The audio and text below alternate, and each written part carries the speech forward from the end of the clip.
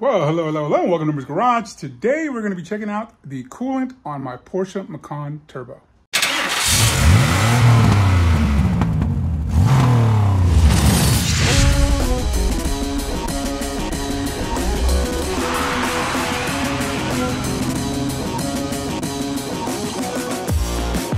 All right, so my wife was driving the car, sent me a message.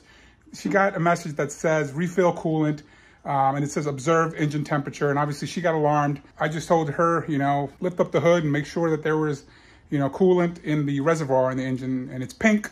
So it's easy to, to, to observe. And uh, we noticed it was a little bit low. So today I'm just going to go ahead and uh, put some OEM original Porsche coolant in it. All right, so we got low coolant. Uh, so what I'm doing is I got this, uh, you know, original Porsche. I think they call it a G4. Um, it's pink in color. Well, it's gonna be darker because it's concentrated. So these are concentrated. You have to use distilled water that has no minerals in it. So you wanna get some distilled water. And then from there, um, you know, that's the, your part number. It's a 000 043 305 15. And then this one has a M100. So what we're gonna do is we're gonna mix 50-50, half and half. So I'm gonna rinse out this bottle. You don't want to use regular water because they those have minerals that could hurt the engine.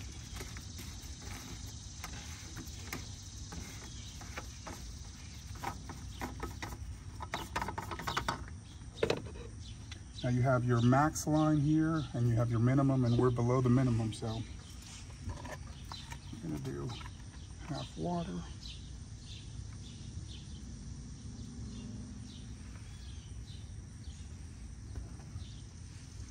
And then we're gonna fill the rest up with this pink stuff. And that goes into your reservoir.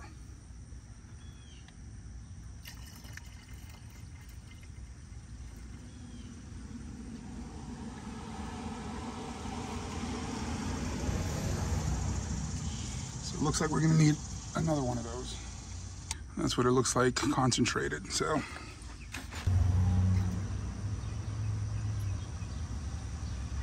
All right, so we're we're actually done here. Now, one thing I want to note, if you do spill over on this side, it will come out the bottom. So, you know, I spilled a little bit here, it came out the bottom just to make sure you don't get startled thinking that it's leaking. And then from there, just replace the cap.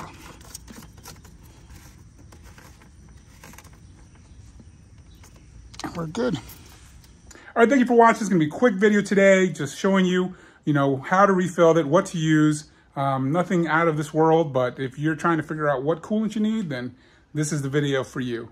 All right, thank you for watching today. It's a hot one today.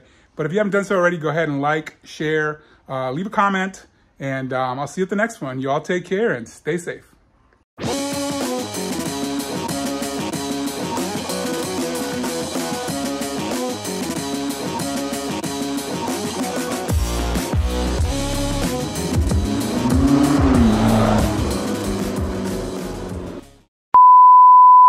All right, so thank you for watching today. If you haven't done so, ahead,